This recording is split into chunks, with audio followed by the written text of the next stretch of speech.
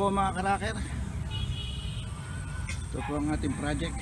Ayan tayo Pagkatapos ng Pagbabakod. Ito yung binakura natin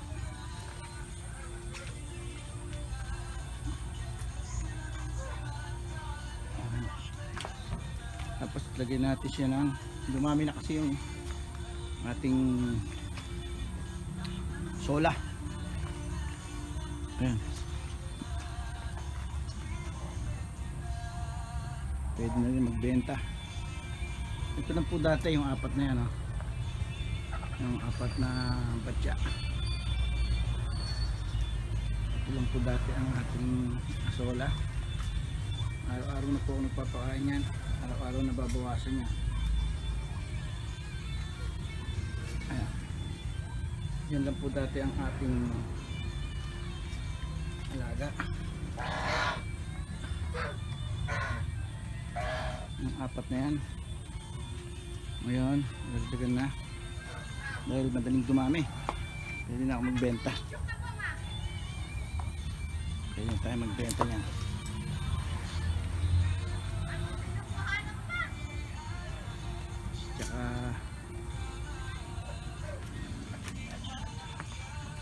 meron pa rito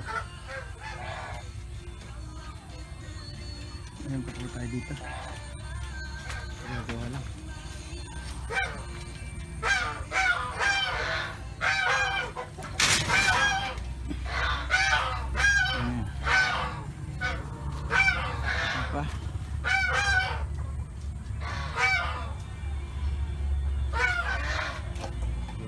Tayo, dalawa pa magdadagdag pa akong dalawa.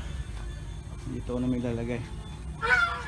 O somewhere dun doon sa dulo. Kasi mabilis dumami. Kahit araw-araw kumukuha. Ayan, bali set. Set na.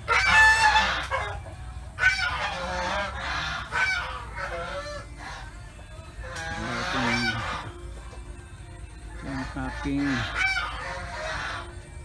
oregano.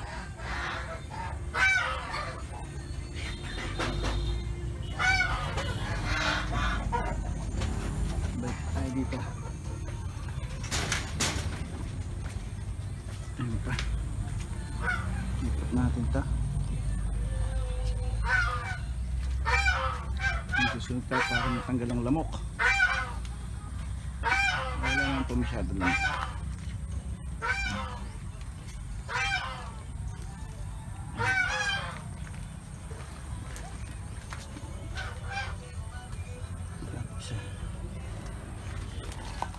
Ngayon ko lang kung anong mangyari dito mamaya. Mamaya ini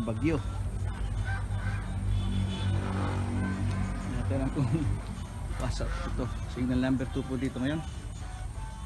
Mamayang gabi.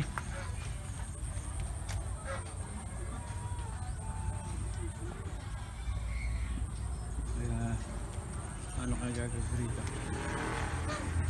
Baka ibaba ko sila sa bababa ko sila sa sahig tapos tatakpak ko ng tarpaulin yung po gagawin ko mamaya pag uh, humangin na di posibleng di ba't yung napunta ng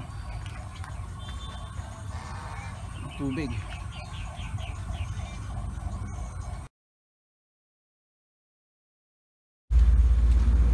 Hello po mga karaker. May nag-text po sa akin kaya bumalik ako dito. May kukuha po ng order ng Asolo Duckweed may nagwin din na pwede na sa akin. Nakita pala nila ito tapos nag-text sa akin. Yung nagbebeda na raw ako. Hindi ko pa na ipopost tong video.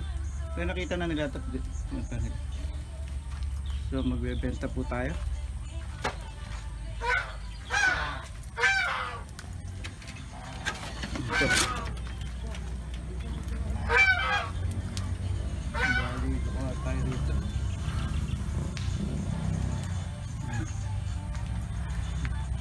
Bukas yung puno na naman yan.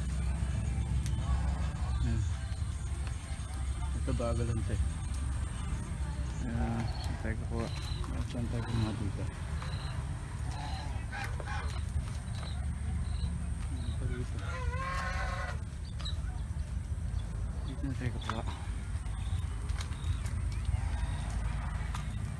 Ano ito?